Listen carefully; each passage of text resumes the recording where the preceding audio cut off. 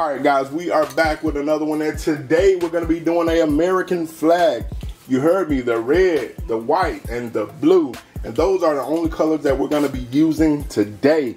We're going to start off with this 8x10 canvas. We're going to have a base coat of white. Then we got to make a template for the red area and a template for the blue area. But that's coming up. We're going to go ahead and put our base coat down and let it dry for about two and a half hours while we make our template.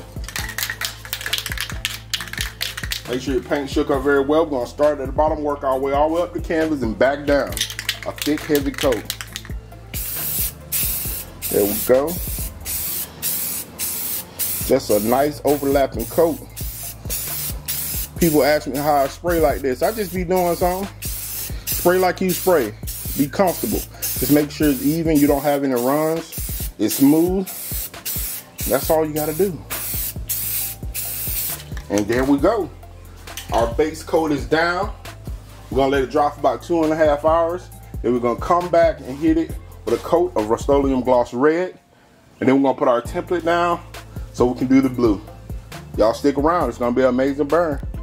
All right, guys, it's been about two and a half hours. We made our template. We started off by tracing the canvas onto some butcher paper and cutting it out. Boom. And then we took that piece of butcher paper and we cut it again to make this template right here. So that's when you're gonna be putting your blue and that little piece that we took out is when you're gonna be doing your red. So that's pretty much it. That's pretty much the template right there how we're gonna put it down we're just gonna line it up best we can. Right there I'm using old dominoes to hold it down. You can use what you like. I'm gonna use dominoes some old ones. Boom. That's it. Move them around a little bit. It'll hold it down. Try to line it up a little better. Come on. There we go now we're gonna hit our we're gonna hit it with a coat of Rust-Oleum Gloss Red. Make sure your paint shook up very well. Then we're gonna start at the top and work our way down.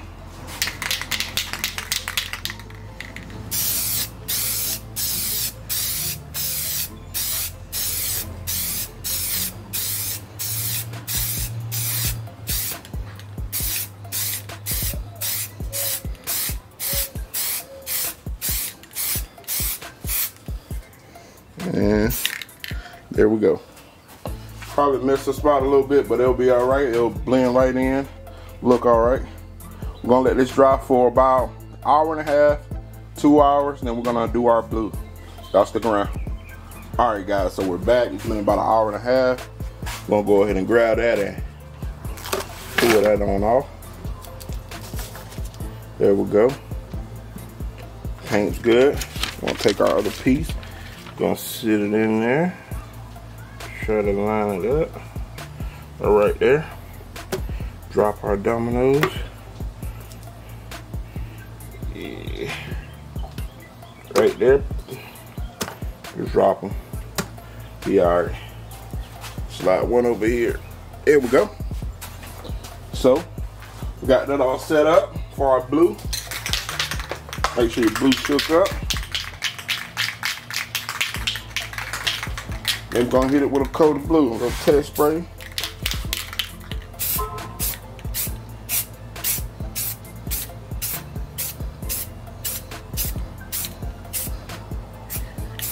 There we go. That should be good enough. Looks pretty good. We're gonna let that dry. Then we're gonna start this amazing burn. Y'all stick around. All right, guys. So this is the image that we chose to engrave today. But it is not ready to engrave as it sits. So we got to go through and we got to change a few things. The first thing is we got to change this. Do you see this black color? We need this behind the stars and the stripes to be just that black so we can engrave it correctly. Um, so I already got my bucket filled. It's black. So we're gonna go ahead and just click behind the stars give it a few clicks.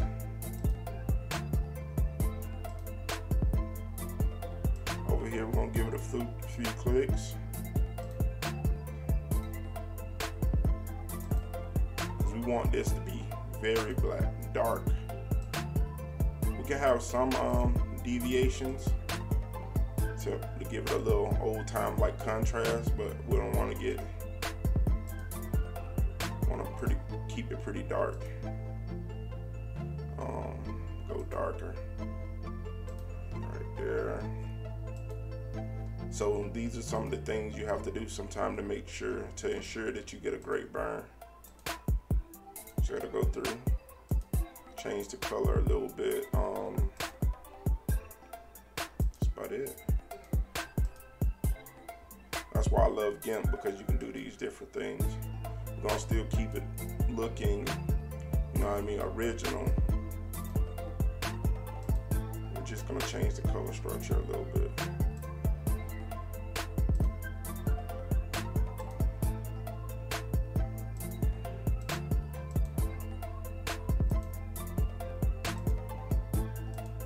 And the cool thing about it, you can zoom in and find those things and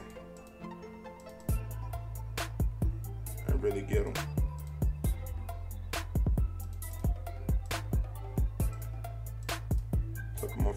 They'll get darker.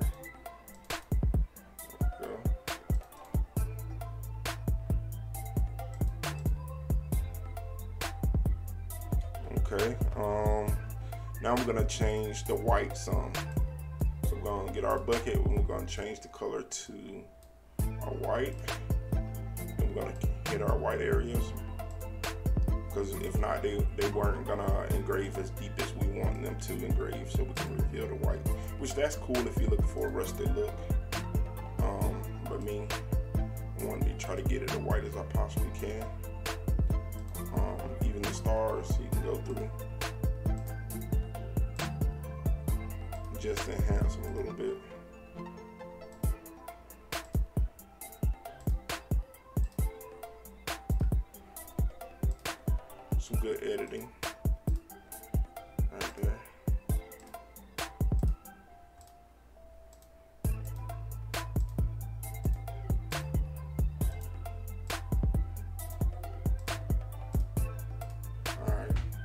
That's pretty good.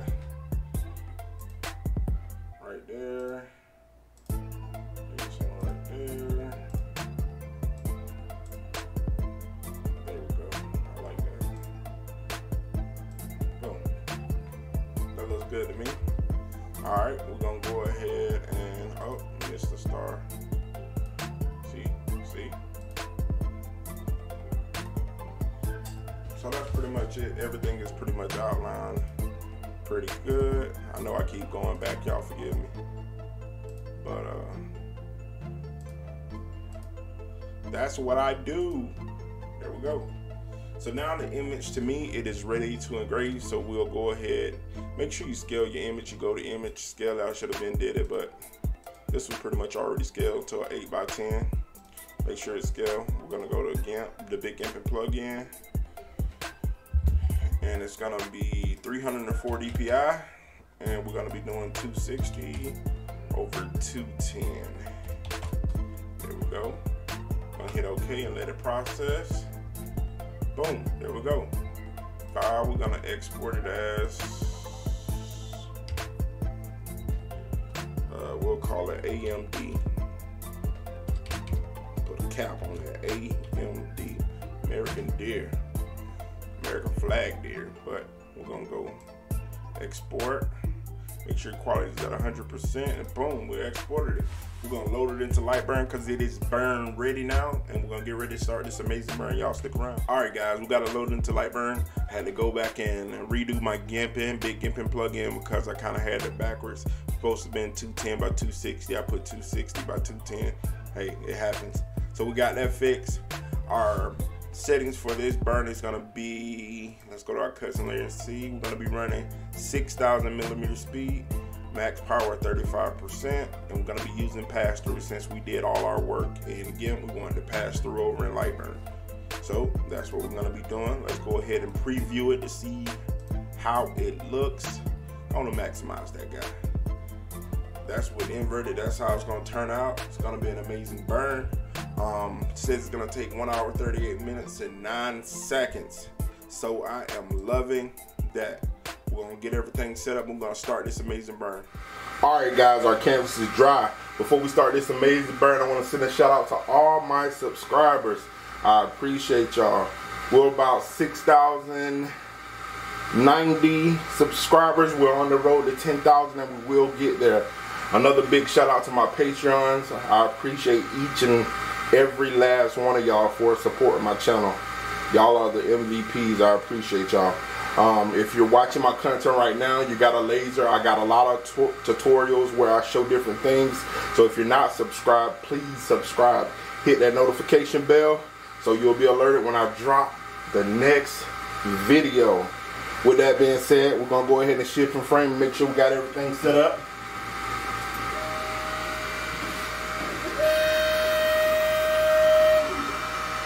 Looking pretty good. All right, y'all, y'all stay tuned for this amazing burn. I'm gonna go ahead and start this thing.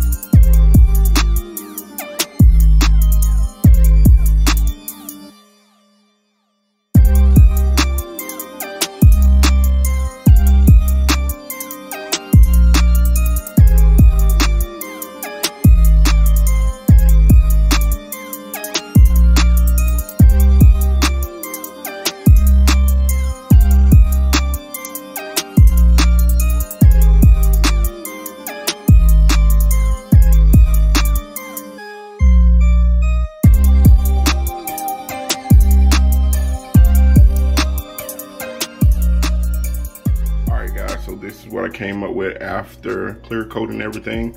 And I think it did pretty good. My paper that I used when I was painting the blue was kind of facing the wrong direction.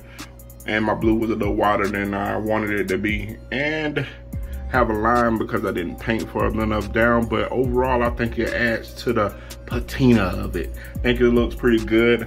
Um, I could have gave it a little bit more power, maybe 40, 5, 5% more power, maybe 40. But I think overall it looks pretty good. I'm gonna hang it up on the wall. It's gonna be one of those uh, amazing burns. I appreciate y'all and I challenge y'all to go out and do it for yourself. Shoot me an email with it so I can post it on my next video. Whoever sends me one, you will be posted. Appreciate y'all and y'all have a good one. I'm.